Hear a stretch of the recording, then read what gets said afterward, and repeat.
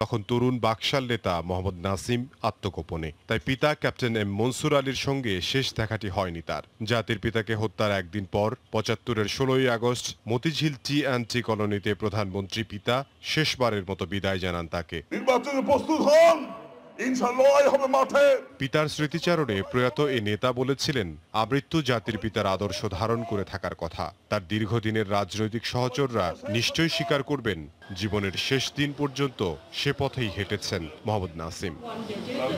সিরাজগঞ্জের কাজীপুরে জাতীয় নেতা ক্যাপ্টেন এম মনসুরের ঘরে নাসিমের জন্ম উনিশশো আটচল্লিশ সালের দোসরা এপ্রিল। তরুণ বয়সেই রাজনৈতিক পিতার হাত ধরে জড়িয়ে পড়েন রাজনীতিতে। ছেষট্টিতে পিতার সঙ্গে বন্দী হন স্বৈরাচারী আয়বের হাতে। কারাবন্দী অবস্থায় পরীক্ষায় অংশ নিয়ে পাশ করেন মেট্রিক। জগন্নাথ কলেজের রাজনীতি বিজ্ঞানের ছাত্র মোহাম্মদ নাসিম সক্রিয়ভাবে জড়িত ছিলেন ছাত্রলীগে।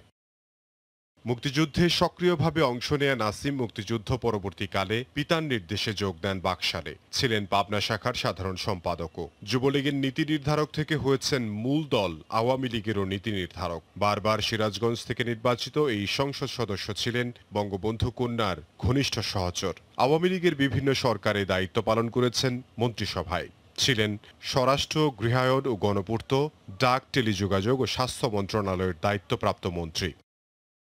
জঙ্গিবাদ প্রতিরোধে প্রগতিশীল চোদ্দ দলের সংগঠক হিসেবে মোহাম্মদ নাসিমের অসাম্প্রদায়িক ভূমিকা রাজনীতির মাঠে সমান আলোচনা জুগিয়েছে আমৃত্যু। করোনা শনাক্তের পর রাজধানীর একটি বেসরকারি হাসপাতালে মাইল্ড স্ট্রোক করেন তিনি। চিকিৎসাধীন অবস্থায় শেষ নিঃশ্বাস ত্যাগ করেন বর্ষিয়ান এ আওয়ামী লীগ নেতা। ইমদাদুল হক, সময় সংবাদ।